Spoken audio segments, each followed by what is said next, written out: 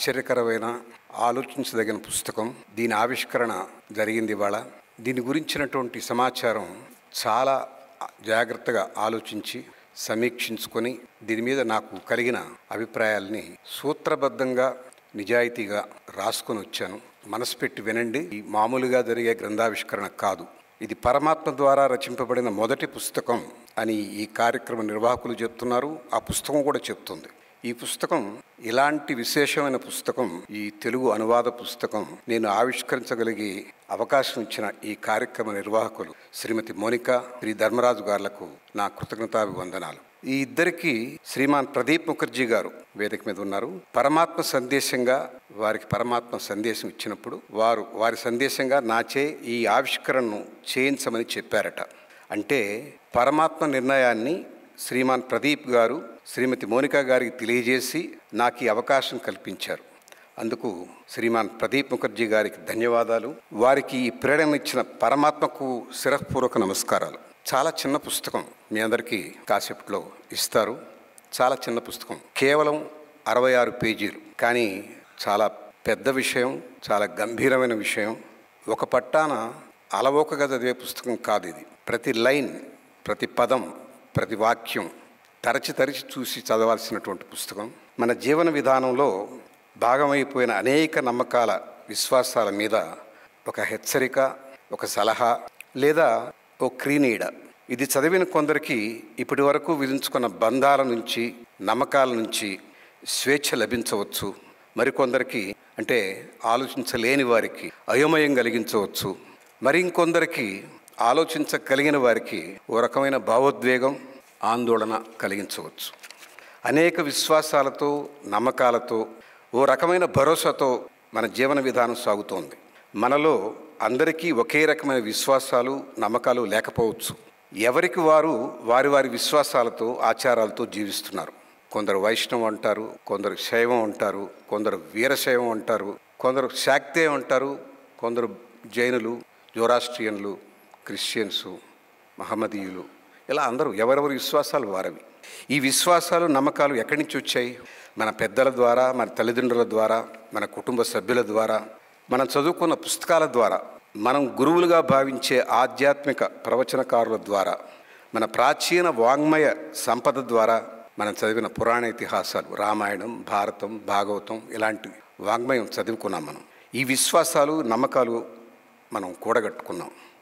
ఇది ఏ ఒక్కరోజు ఒక దశాబ్దము శతాబ్దంలో వచ్చినాయి కాదు. కొన్ని వేల సంవత్సరాల నుంచి వచ్చినాయి. దైవం పట్ల జన్మ కర్మల పట్ల జన్మ పునర్జన్మల పట్ల ఆత్మానాత్మ వివేచనలు ఏర్పడ్డాయి. ఇవి గత వందల వేల సంవత్సరాలుగా మనలో జీర్ణించుకుపోయి వాటిలో ఈ నమ్మకాలలో తొంభై తొమ్మిది శాతం నమ్మకాలని విశ్వాసాలని వాటిని పరిశీలించి హేతుబద్ధతను చూసి చర్చించి తీసుకున్నవి కావు. మనం ఎప్పుడూ ఈ విశ్వాసాలని ప్రశ్నించలేదు. పెద్దలు చెప్పిన మాట చద్ది అన్న మూట అని మన సామెత. పురాణ ఇతిహాసాల సారాంశం కథల రూపంలో స్తోత్రాల రూపంలో కీర్తన రూపంలో గేయాల రూపంలో విని విని చదివి చదివి మన అంతరంతరాల్లో నిక్షిప్తం చేసుకున్నాం. మనం ఎన్నడూ వీటిని ప్రశ్నించలేదు ప్రతిఘటించను లేదు. మహా అయితే మనలో కొద్ది శాతం మంది అనుసరించకపోయి ఉండొచ్చు. కొద్ది శాతం. వాళ్ళకి విశ్వాసం లేక కాదు సోమర్తనం ఈజీ లైఫ్ లేజీ లైఫ్ అనుసరించరు. కానీ వాడికి తెలుసు. వాటి ప్రతిఘటించరు ప్రశ్నించరు. కానీ ఈ పుస్తకం నేను చదివిన ఈ పుస్తకం మీరు చూడబోతున్న ఈ పుస్తకం పరమాత్మ ప్రేరణతో వ్రాయబడిన ఈ పుస్తకం మనం మోస్తున్న విశ్వాసాలని నమ్మకాలని ప్రశ్నిస్తుంది. మనల్ని ఆగి చూడమంటుంది. సత్యం అసలు సత్యం వేరే ఉందని చెప్తుంది. చదివిన తర్వాత నమ్మితే మనం నమ్మితే మరో మార్గం చూపుతుంది. నమ్మకుంటే మనం ఇతపూర్వం నమ్ముకున్న విశ్వాసంతోనే ఉండిపోండి అంటుంది. బలవంతం లేదు. మీకు ఒక ఆప్షన్. మీరు చదవండి. దీంట్లో విషయాలు గమనించండి. దాంట్లో ఉన్న మూల సత్యం మీరు పట్టుకోగలిగితే నమ్మితే దాన్ని మీ మతంలోకి తీసుకోండి మీ మనసులోకి తీసుకోండి. నమ్మకపోతే ఇంతకుముందు మీకున్నటువంటి విశ్వాసంతో కొనసాగండి. అలా అసలు సత్యం గ్రహించకపోతే మన ఆత్మలు పరమాత్మ చేరలేవు అంటుంది ఈ పుస్తకం. అసలు సత్యాన్ని మనం గమనించకుండా మనం ఏమి చేసినా ఎన్ని విశ్వాసాలు ఉన్నా పరమాత్మను చేరుకునేది పుస్తకంలోని సత్యం నమ్మకపోతే పోయారు. అగౌరవపరచకండి. అని హెచ్చరిస్తుంది. If you don't trust what is there in that at least you follow what you were following don't undermine this don't insult just act see that if you can follow fine otherwise go head with what you believe పరమాత్మ the ultimate supreme మన ఆత్మలను తన వద్దకు తీసుకెళ్ళడానికి సులువైన సరళమైన మార్గం ఈ పుస్తకం ద్వారా సూచిస్తున్నారు. సులువైన సరళమైన ఎందుకన్నానంటే మనకున్నటువంటి ఇప్పటివరకు మనం పెట్టుకున్న విశ్వాసాలు నమ్మకాలు అవి సులువైనవి కావు. చాలా దీక్షాదక్షత ఉండాలి క్రమశిక్షణ ఉండాలి దాని పట్ల విధేయులై ఉండాలి ప్రశ్నించకూడదు దాని మీద తర్కం లేదు శశపిషలు లేవు. కానీ ఈ పుస్తకం మీకు సూచించేది కేవలం ముప్పై రోజులు only thirty days. You follow the instructions. ఆ పుస్తకంలో సూచించిన విధంగా ముప్పై రోజుల పాటు మీరు వారు చెప్పిన సూచనలు పాటిస్తే ఈ పుస్ ఈ పుస్తకం చెప్పడం అది పుస్తకం చెప్పడం అని అంటారు కానీ పుస్తకంలో ఉన్న పరమాత్మే చెప్తున్నాడు మీతో సరాసరి అని భావిస్తే మీకు ఆ సులువైన సరళమైన మార్గం పరమాత్మను చేరుకునే విధానం తెలిసి వస్తుంది. మనం ప్రస్తుతం పాటిస్తున్న పూజా విధానాలు వ్రతకల్పాలు హోమాలు యజ్ఞాలు అవసరం లేదండి. అవి మనల్ని కర్మబంధంలో ఉంచి కర్మ భ్రష్టత్వం పొందినప్పుడు వాటి తాలూకు పాపం మనకు అంటగట్టి తత్కారణంగా పరమాత్మను చేరలేని దుస్థితికి కారణభూతాలవుతున్నాయని పరమాత్మ ఈ పుస్తకం ద్వారా మనకు హెచ్చరిక చేస్తున్నారు. కర్మలు చేస్తాం. ఒకసారి కర్మభ్రష్టులు అవుతాం. కర్మభ్రష్టులు అంటే అనుకున్నటువంటి నియమాలు పాటించకపోయినప్పుడు అనుకున్న పద్ధతులు చేయలేనప్పుడు ఏదో దోషాలు. అందుకని మనం భక్తిహీనం క్రియాహీనం అని మంత్రంలో చదువుకుంటాం.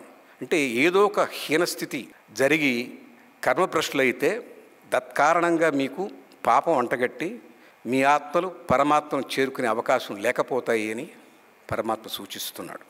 ఈ పుస్తక ఆవిష్కర్తగా నా బాధ్యత నూటికి నూరుపాళ్ళు నిష్కామంగా నిజాయితీగా పుస్తకంలోని ఉద్దేశాలను తెలియజెప్పాను. మీరు చదివితే ఇంకా ఎక్కువ అర్థమవుతాయి. నేను సూక్ష్మంగా మీకు చెప్పింది ఏంటంటే మనం ఇంతవరకు అనాదిగా నమ్మిన విశ్వాసాలు whatever we believed so far అవన్నీ they came to us descended from our scriptures our elders our family members our spiritual gurus and our scriptures all the scriptures they describe what to do how to do how to be in line with the God etcetera అవన్నీ వాటి వల్ల వనగూడే దానికన్నా సరళమైన మార్గం చెప్తున్నారు పరమాత్మ. అది మీరు చదివి మీరు ఆ ముప్పై రోజుల్లో కనెక్ట్ కాగలిగితే మీకు అవకాశం ఉంది అంటున్నారు. నేను సనాతన ధర్మం విశ్వసిస్తాను. నా గురించి చెప్తున్నాను నా తల్లిదండ్రుల నుంచి నా గురువుల నుంచి అబ్బిన ఆధ్యాత్మిక పదంలో జీవన విధానాన్ని అవలంబిస్తున్నాను. విత్ ఓపెన్ మైండ్తో ఈ పుస్తకాన్ని ఆవిష్కరించడానికి ఆ పుస్తకంలో ఏముందో విషయం తెలియకుండానే మోనిక గారు కేవీఎల్ఎన్ రాజు గారు మీరు మా ఇంటికి వచ్చి మీరు ఆ పుస్తకాన్ని ఆవిష్కరించాలి అని అన్నప్పుడు దాంట్లో విషయం నాకు తెలియదు. వాళ్ళు పరమాత్మతో సందేశం అన్నప్పుడు పరమాత్మ రిలేటెడే కదా తప్పకుండా చేస్తాను అనుకున్నాను తర్వాత నాకు పుస్తకం వచ్చింది. పుస్తకం చదివాను. విభిన్న కోణాలు విస్మయవాదం ఇవన్నీ పుస్తకంలో కనిపించాయి. ఇందులో స్థూలంగా ఒక్క విషయం అది లోతుగా బాగా లోతుగా నేను వారం రోజులు మదనపడి మళ్ళీ మళ్ళీ చదివి మళ్ళీ మళ్ళీ ఆలోచించి ఒక ఒక చిన్న సూక్ష్మమైనటువంటి ఒక సత్యాన్ని కనిపెట్టాను. అదే మీతో పంచుకుంటాను ఇప్పుడు.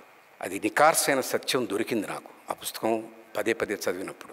అది దొరికిన తర్వాత నేను ప్రశాంత స్థితికి రాగలిగాను. లేకుంటే ముందుగా నేను చెప్పినట్లు అయోమయ పరిస్థితి పడేవాడిని. ఆందోళనలోనే ఆవిరైపోయేవాడిని. అంత విస్ఫోటనం. నేను చెప్పడం కాదు ఆ పుస్తకం ర్యాపర్ మీద కూడా రాస్తుంది. మీకు ఇది విస్ఫోటనం కలిగించవచ్చు అయోమయం కావచ్చు అని. ఇది నిజంగానే వాస్తవం. అందులో విషయాలు అలా ఉంటాయి మరి. ఆ అసలు సత్యం ఏమిటంటే నేను కనుగొన్న సత్యం పరమాత్మకు మనం ప్రస్తుతం చేస్తున్న రిచువల్స్ అంటే కర్మకాండలు ఉపవాసాలు చన్నీటి స్నానాలు ఏకభుక్తాలు భూశయనాలు సూర్య నమస్కారాలు ఇవన్నీ ఏమి సంతోషం కలిగించవు. పరమాత్మ ఇవన్నీ కోరుకుంటున్నాడన్న భావంలో మనం చేస్తున్నాం. ఆయన కరుణామయుడు. ఆయనకు సర్వజీవుల పట్ల ప్రేమ వాత్సల్యం కరుణ పుష్కలంగా ఉంటాయి. అందుకే ఆయన పరమాత్మ. మనం కష్టపడడం ఆయన సంతోషం కలిగించదు. నూట ఎనిమిది ప్రదక్షిణాలు కాలికి చెప్పు లేకుండా తిరగడం ఆయన కోరుకోడు. ఒక్క మనకున్న ఒక్క మనసు ఆయనకు దారాదత్తం చేయమంటారు. ఆయనతో కనెక్ట్ కమ్మంటారు. ఆయనతో కాంటాక్ట్లో ఉండమంటారు. ఆయనతో సంభాషించమంటారు. ధ్యానంలో ఆయన్ని వినమంటారు. అంతే అదే మనల్ని మన ఆత్మల్ని స్వక్షేత్రానికి స్వప్రదేశానికి పరమాత్మ ఎక్కడ ఉంటాడో ఆయనకి ఆయన వద్దకు చేర్చే మార్గం get connected been con contact with ఈ కర్మకాండలు ఇవన్నీ చేసి మీరు ఆయన్ని మెప్పించడానికి ప్రయత్నం చేయాల్సిన అవసరం లేదు. ఇవన్నీ ఆయన కోరుకోడు. ఉదాహరణకి మీకు ఆ రకమైన మార్గంలో ఉన్నవాళ్ళు కూడా ఉన్నారు. శ్రీరమణ మహర్షి. ఆయన ఏమి యోగాలు చేయలేదు హోమాలు చేయలేదు చన్నీటి స్నానాలు చేయలేదు నూట నిమిషాలు రోజు ప్రదక్షిణాలు చేయలేదు గుడి చుట్టూ సూర్య నమస్కారాలు చేయలేదు. కానీ కనెక్ట్ అయ్యారు ఆయన పరమాత్మతో రామకృష్ణ పరమహంస. మార్గాలు ఉన్నాయి చేసిన వాళ్ళు ఉన్నారు. కాకపోతే మనం అర్థం చేసుకోవాల్సిన మనకి ఈ కర్మకాండాలన్నీ ఎక్కడికి వచ్చినాయి. మనం చేస్తున్న పాటిస్తున్న ఆచారాలు ఎందుకు మన మన మీద మన పెద్దలు రుద్దారు అని మనం సమీక్షించుకుంటే పరిశీలిస్తే సమాధానం దొరుకుతుంది. ఇవన్నీ దేవుడికి ఇష్టమనా? కాదు. కానే కాదు ఆయనకి ఆయన శాడిస్ట్ కాదు. భగవంతుడు అని మనం ఒకసారి నిర్ణయించుకున్నాక పరమాత్మ he will not have vicarious pleasure of putting us into difficult situations మనం చేసే కర్మలు ఎలా ఉంటాయో ఒకసారి చెప్తాను. కార్తీక మాసంలో బాగా చలి. వేకువజామునే చన్నీటి స్నానం. ఇది మన ఇది ఆయన దేవుడు కోరుకుంది కాదు. మనం పెట్టుకున్నటువంటి నియమం. ఎందుకు? ఇది ఆరోగ్యానికి ఇమ్యూనిటీకి చాలా మేలు చేస్తుంది. చెప్పులు లేకుండా నూట ఎనిమిది సార్లు గుడి చుట్టూ ప్రదక్షిణాలు చేస్తాం. అది భగవంతుడు కోరుకోలే. మనం ఎందుకు చేస్తున్నాం అంటే భూమితో శరీరం స్పర్శ ఉంటే ఎలక్ట్రోమాగ్నెటిక్ ఎనర్జీ పాస్ అవుతుంది. మీ సర్వనాడులు మీలో ఉన్నటువంటి అన్ని ధాతువులు సుసంపన్నం అవుతాయి. Energy passes through the our body ప్రతి పదిహేను రోజులకు ఒకసారి అదే ఏకాదశి ఉపవాసం ఉండమంటాం. మీరు ఆకలితో అటమటిస్తే భగవంతుడు చాలా హాయిగా ఉంటాడని అనుకోవటం అది మన అజ్ఞానం. ఆయన ఇప్పుడు అలా కోరుకోడు. ఇలా పదిహేను రోజులకు ఒకసారి లంకడం లంకడం పరమౌషధం. మన ఆరోగ్యానికి మంచిది జీర్ణ వ్యవస్థకి ఒక వెసులుబాటు.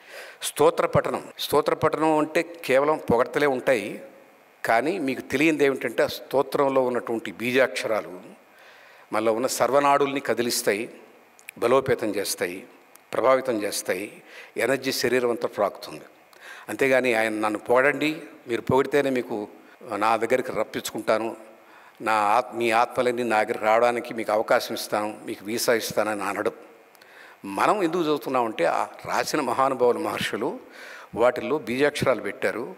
అవి మనం ఉచ్చరించినప్పుడు మన శరీరంలో నాడులన్నీ ప్రభావితమై మనకు ఎక్కడ లేని ఎనర్జీ వస్తుంది. అవన్నీ బీజాక్షర నిక్షిప్తాలు ఆ స్తోత్రాలన్నీ. ఇరవై ఒక్కసార్లు సాష్టాంగాలు చేస్తాం సూర్య నమస్కారాలు. ఎందుకు? సూర్యుడు మెప్పించడానికి కాదు. మన ఆరోగ్యం బాగుండడానికి మన శరీరంలో ఫ్లెక్సిబిలిటీ కోసంగా అన్నిటికన్నా మించి సూర్యరశ్మిలో మనకి D vitamin. D vitamin is very essential for the body and your body will have lot of flexibility జిమ్కి వెళ్ళి డబ్బులు ఇచ్చి అదే పని చేస్తాం. అది లేకుండానే మన పెద్దవాళ్ళు ఈ రకమైనటువంటి సాంప్రదాయాలు పెట్టారు. దేవుడికి పొగడతలు ఇష్టమని మన స్తోత్ర పాఠాలు మంత్రాలు చదువుతున్నాం అనుకోవడం అది కేవలం మన అజ్ఞానము అవివేకం.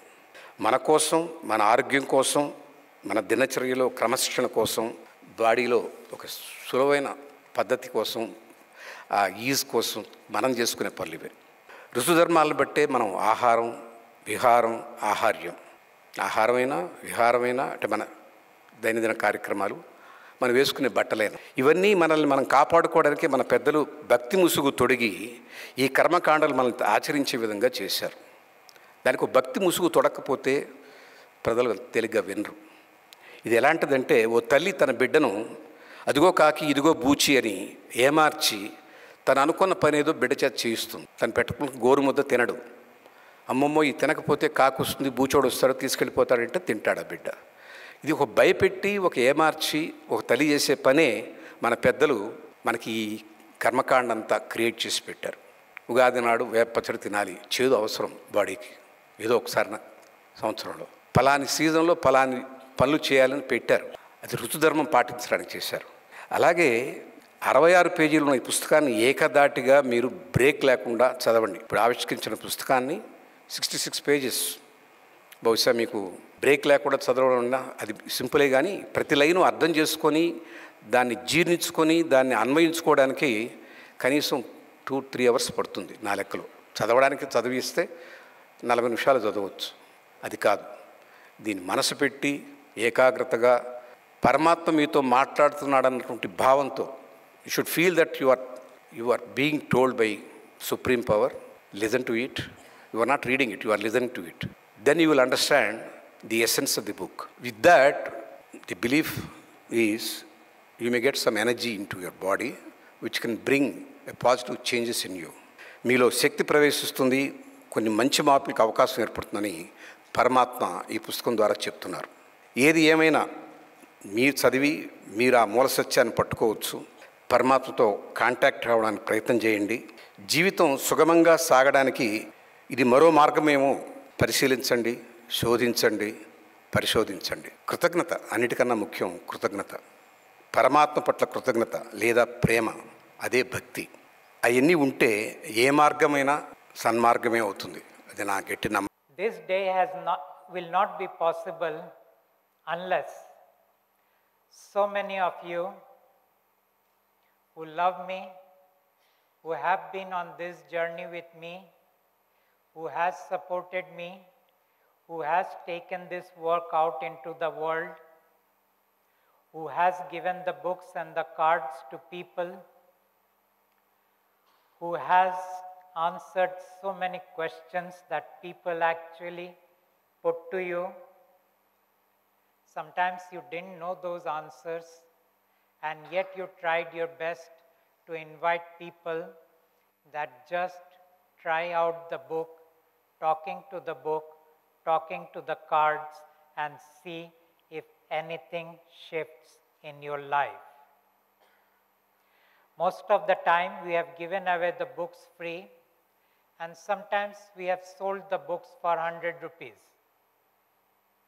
So, if anyone ever made an investment, it would be just the 100 rupees or maybe another postage of 50 60 rupees.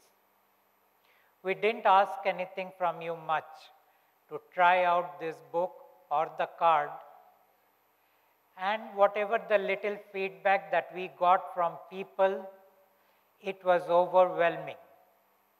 I do not say that 100% of the people said thank you for giving us the book or giving us the card.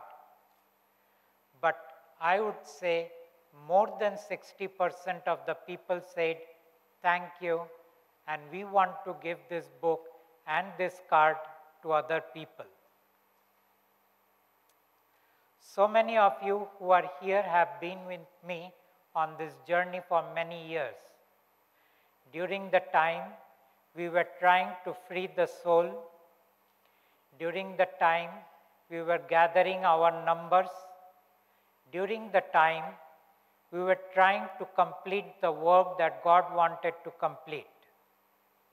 And finally, in August 2023, we completed the work that God wanted, and because of which He came to this universe. He said the souls are now free to go back home if they want to. So, those who wanted to go back, some of them have gone back, some of them are waiting for, the, for their human incarnations to die, and then they will go back.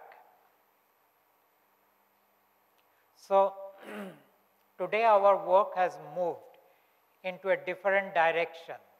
While God is here, God said that I will give some relief. God did not say enlightenment. God said, I will give some relief to the humans. Why God did not say 100% relief? Because your mind, your body, and your storyline, all three belongs to the king. It is un- under the control of the king. And God does not use power over anyone. God does not use strength over anyone. God is so gentle, so allowing that almost I had a problem in trying to understand that am I really working with God or someone who was lesser than the king?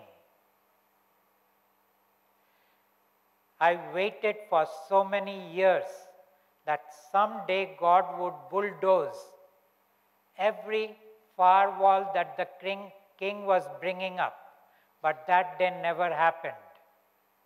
But I also saw that every time God stepped back because of the firewalls, God came back from a different direction, and eventually we had a number called 300 of those participants, most of whom who are here today. And then this work started moving in a very fast paced, and within two years, we completed the work that God had come here to do. This work will not, whatever we did then, will not make any sense to people who were not with us then. Talking about them is useless because they do not concern us anymore. What does concern us today is our pain and our suffering. Every human being suffers physically, emotionally, psychologically, and socially. No one can deny suffering. No one can stop suffering. The only people who do not suffer are the ones who became enlightened. But their number are hardly worth mentioning. Even if anyone gives you the complete understanding of whatever spirituality is, whatever religion is, it doesn't free you from suffering. Then they say you have to practice.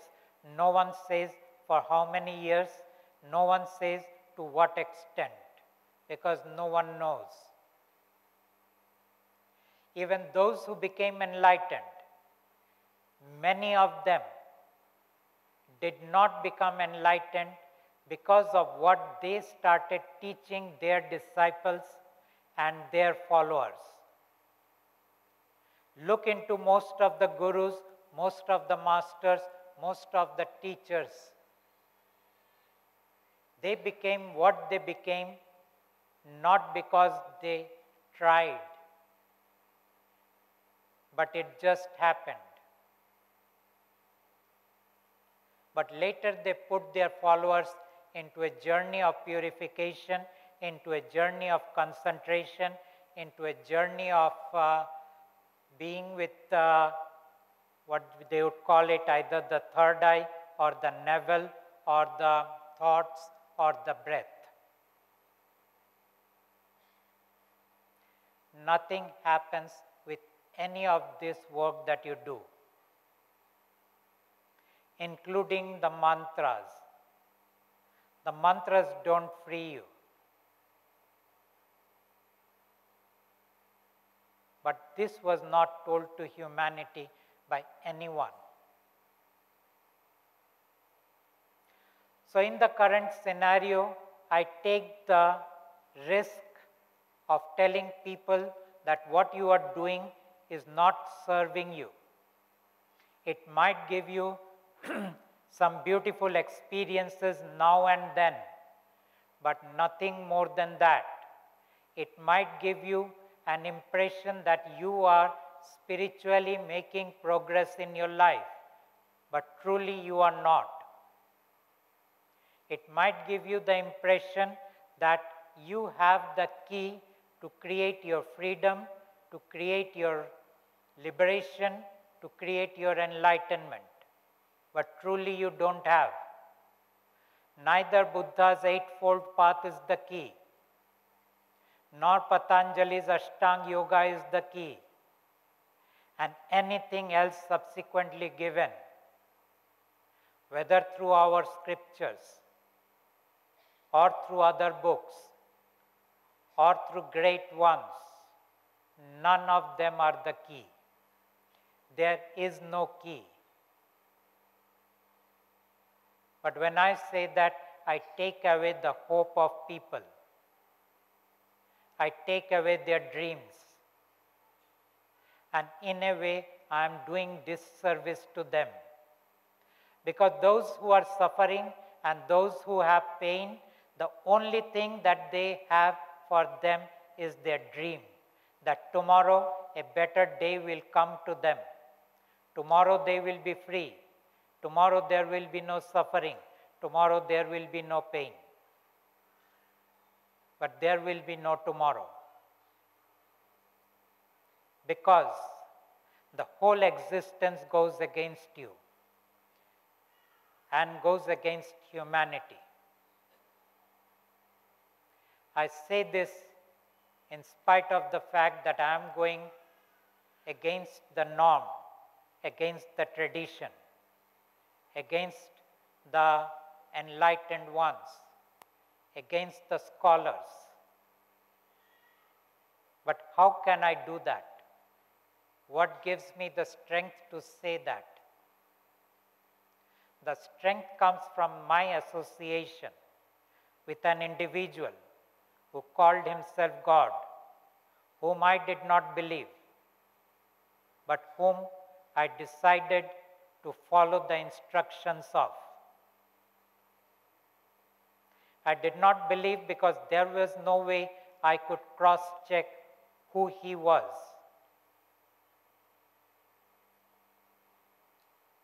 And look at you. You go and believe everything. You believe your gods. You haven't met them, you don't talk with them, you get no instructions from them. You read the scriptures and do what you are told to do. You do not challenge your God, but I challenge the God that came to me.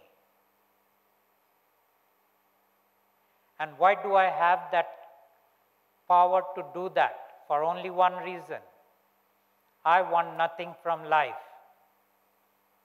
You want something from life. You want enlightenment. I don't even want enlightenment.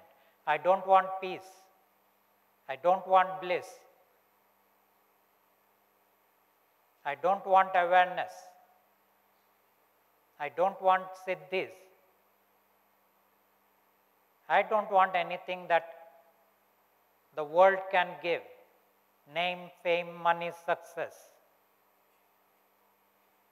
That's my strength. And from that place of strength, I stand in equality to those who are way, way above me.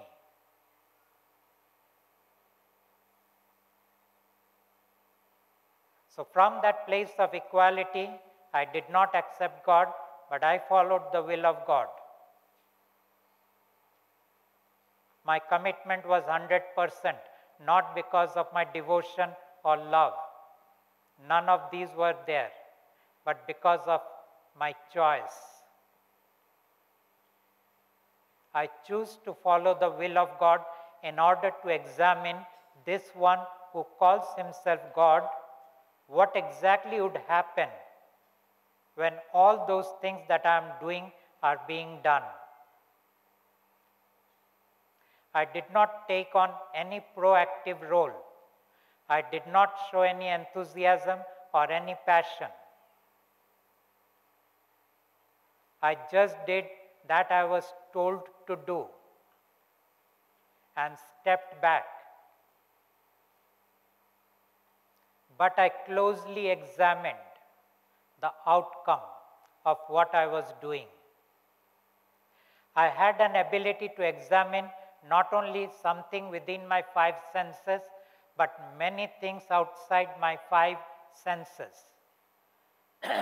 so I not only examined the material world, I examined even the non material world, the invisible world. And from that place of examination, I started noticing the shift that was happening because of what me and a group of people who chose to be with me, who chose to do the work of God, everything that they were doing. And it was only after five years, by that time I had come to know the King, the Creator, who imposed himself to be God or Paramatma, who imposed that he is the Supreme, but he is none. He says that I am kind, benevolent. He says that I am caring and loving. He is none of these. He writes the storyline of the humans, including my storyline that was written. And every storyline is laced with pain and suffering. Some people's pain and suffering is very obvious. Others' pain and suffering is very much suppressed. And that is why you need all kind of intoxications in order to escape those pain and suffering. That is why you need all kind of entertainments. That is why you need all kind of gambling whether you do it in the stock market, whether you do it on the race track, whether you do it on the uh, those uh, Las Vegas tables. Every mechanism is an escapism. They call it the dopamine trip. Why do we need that? For only one reason I don't want to get in touch with my pain and suffering. So, to cut it short now, because if I keep talking, I really can go on for hours. Hello hi అందరికీ నమస్కారం నేను మీ లక్ష్మి మంచు So you're watching me on Citylight E News. Don't forget to share, like, and subscribe. And in Malanarish Marathon, please subscribe to Citylights E News. City E News everybody. Andarki Namaskaram. This is Anasia Bharadwaj. Uh, please subscribe to City Light E News. Thank you. Please subscribe to City Light E News.